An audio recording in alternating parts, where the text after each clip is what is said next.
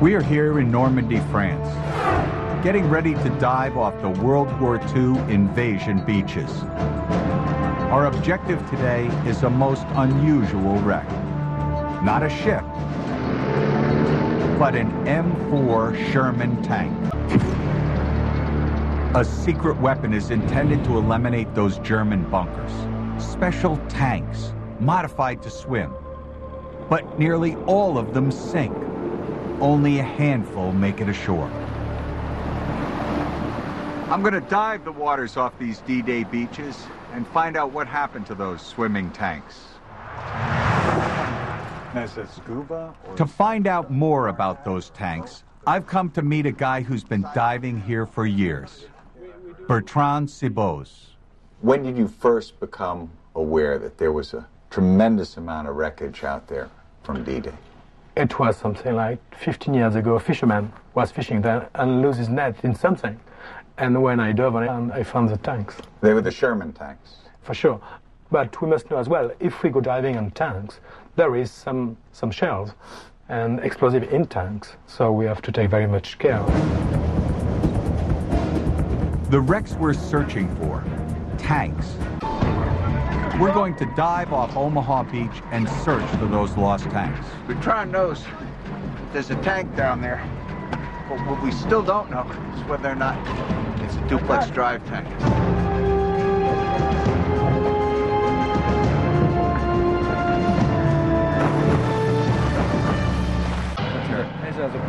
Bertrand knows there's tanks out there. We're just not sure if any are DDs. What we're looking at is some schematic drawings for the duplex drive or the DD tank. And the features on here that would uh, indicate to us that it's a duplex drive are the canvas skirt. In addition to that, most important thing is the propellers on the stern. It's pretty exciting for me. I know you're a local. Uh, uh, Bertrand lives here, but for me, coming all the way from the United States, uh, um, this is a lot of fun. First, we have to locate the wreck. At less than 30 feet long, a Sherman tank is a tough target for sonar.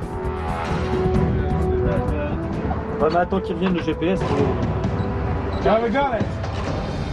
This small target here is uh, supposed to be a Sherman tank, you know. We don't know yet if it's a duplex drive. Sure. So we must dive and have a look, you know. Now, the visibility doesn't look all that great from the surface. What do you think? You know, it's going to be maybe less than one meter. So uh, there's a little bit of a challenge to get us down there, but uh, we like that kind of thing. Yes. We'll make it happen, right? Yeah. For sure. Thank you, John. How you doing, pal? Hey, John, Yes, sir. we must be very careful on the bottom because, um, you know, the vis is not good at all. So, Preserve the visibility as best we can. yes. Gotcha. Big history here, big history. yeah, there is history everywhere lying on the bottom, so we might find today a part of this history.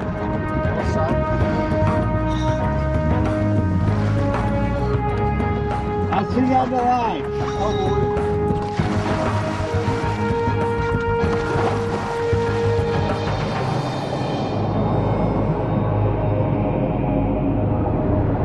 Barely two meters of visibility, it's like diving in pea soup.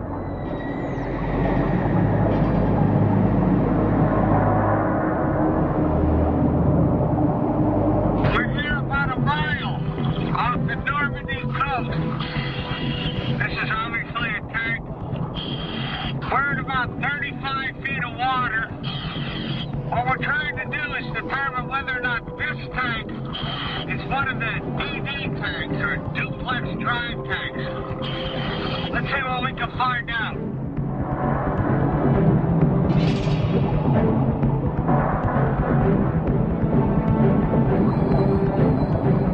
Compared to the shipwrecks I usually dive, this one is tiny. The breech of the gun practically fills the turret.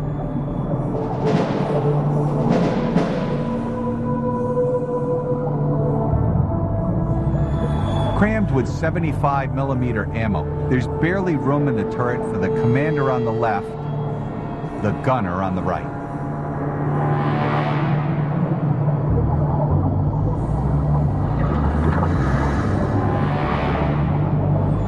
Below and in front of the turret, the driver's station.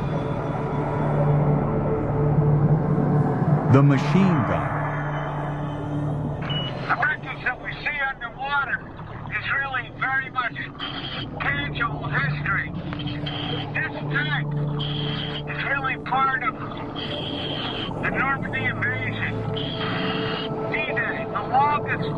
But uh, we're not sure whether this is a duplex drive tank or not.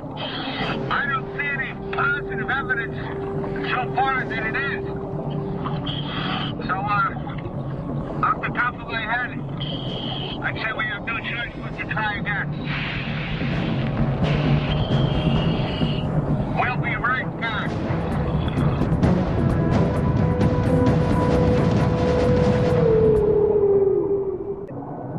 So far, we've located a sunken tank. But it's not a DD. Since we're here, we'll explore it anyway.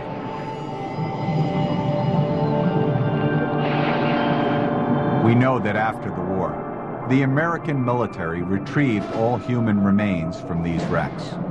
So it's okay to take a look inside.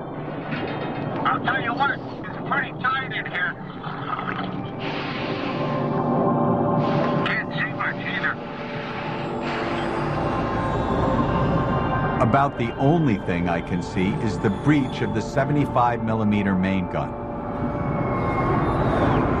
Originally, there was a sheet metal enclosure that protected the crew from the gun's recoil. Now, it's rotted away. Well, this doesn't look like what we're looking for, Bertrand. But it's interesting as it is.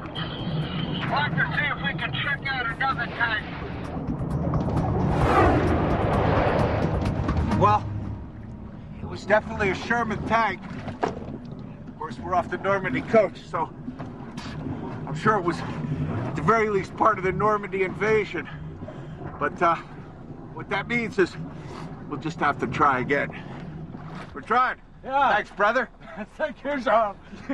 Did you notice that he did all the time with a little crab on the shoulder? Yeah, he's crawling around on your back the whole time. That was a lot of fun. But I'll tell you what, um, I wouldn't have wanted to have been one of the, the tankers back in 1944 crammed inside that, that turret there. On our next dive, our search for a duplex drive Sherman continues.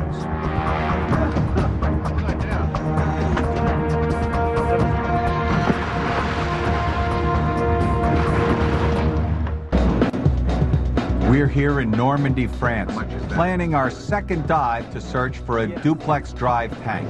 Um, sometime On our first dive, we located a Sherman tank, but it wasn't a DD. Now Bertrand wants to shift our search to a different area. That's it. There is one tank right to the shore, Domain Beach. To avoid dangerous currents, we'll have to dive at slack tide. And that means starting out before dawn.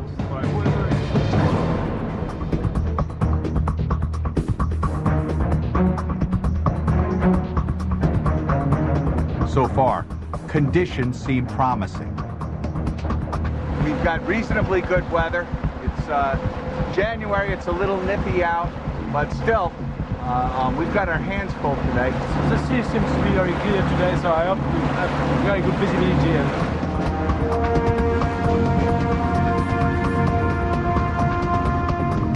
First step is finding the wreck.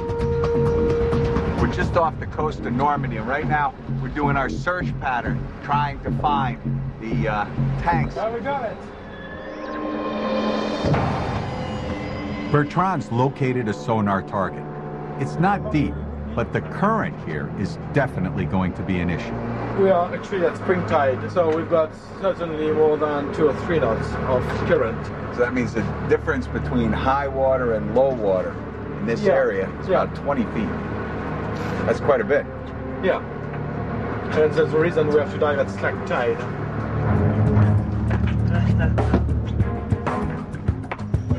Bertrand is pretty sure the sonar target below us is a tank.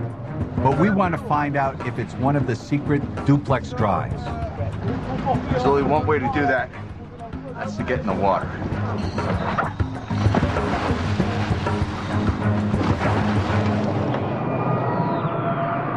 Maybe this wreck will finally be a real duplex drive tank. 60 years later, in the light of day, we can only imagine how it felt. We're in a small boat. It's a relatively calm day out, and we're bobbing around. You can imagine going on shore on those tanks as the weather, you know, is getting a bit stronger and rougher and rougher. Those things had almost no freeboard, and uh, once water came over the skirt, compromised the integrity of the interior of the tank.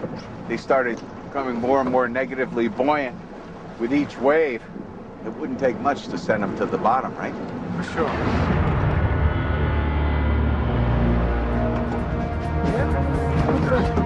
On our next dive, we resume our search for a lost DD tank.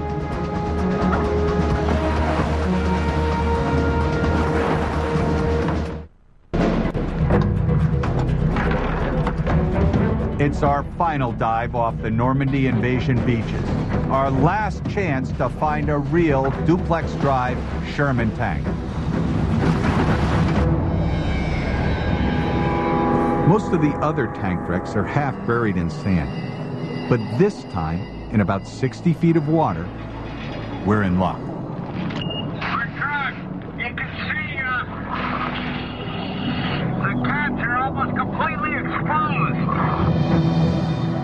Then, Bertrand spots something. Did you see those rubber things everywhere? Roger, Bertrand. Pieces of black rubber. Remnants of the inflatable pillars that raised the canvas skirt.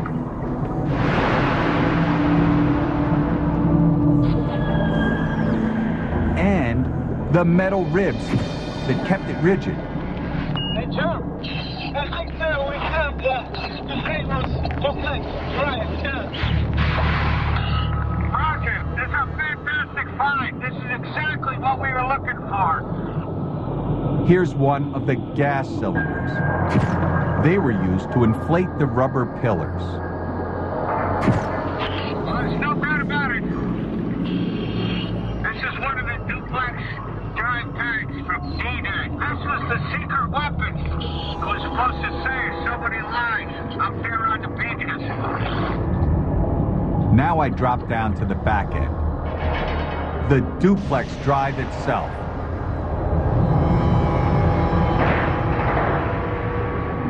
At first, all I can see is the mechanism.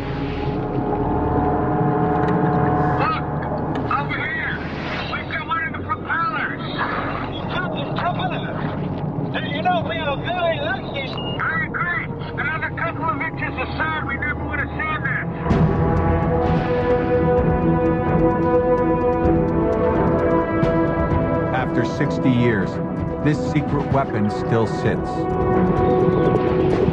Frozen in time, barely a mile from the battlefield it never reached.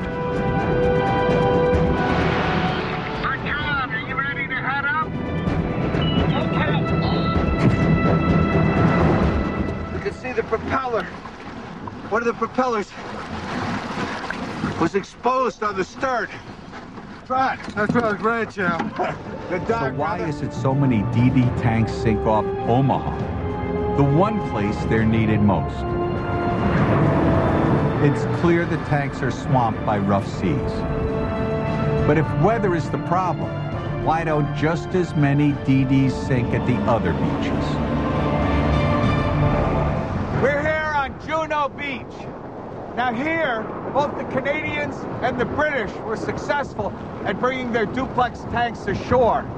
Now, Bertrand, Is it possible that you could have completely different sea state between here at Juno and, say, Omaha Beach? Yes, John, you're right, you know, because right over Omaha Beach, it's always rougher over there than here, especially, especially with this terrible northeast wind.